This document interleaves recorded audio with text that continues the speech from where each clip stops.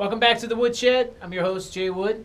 Today I want to go over a paradiddle groove. It's a single paradiddle, which we learned in the beginning session. Um, it's a right, left, right, right, left, right, left, left, just as a reminder. Right, left, right, right, left, right, left, left. There's three different kinds of paradiddles, the single, the double, the triple. This is the first one. The single, we'll be doing the double one later. All right, relatively simple groove if you know how to play the single paradiddle. What we're going to do is we're going to take the right hand, we're going to play the notes of the paradiddle, the right hand part on the hi-hat, the left hand part on the snare. So we're going to get right, left, right, right, left, right, left, left, right, left, right, right, left, right, left, left. All right. Looking back and beginning um, when we were talking about accents before in a previous segment, I'm going to add an accent. I'm going to add it when I flip the paradiddle. Right, left, right, right, left, right, left, left. One and two and three and four and.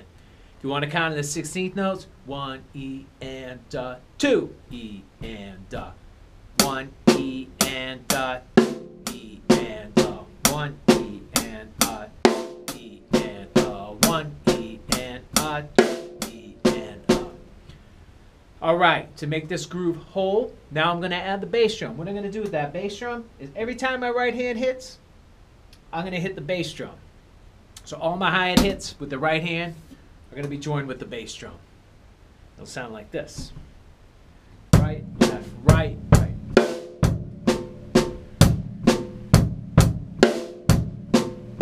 One E and a two E and a three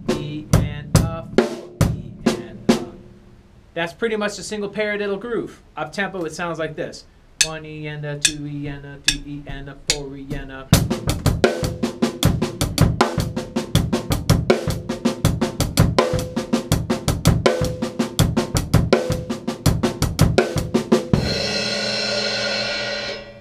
Next, we're going to play a groove with the double paradiddle. See you at the next segment. Thank you. What's that? Do you know how to play the beat now?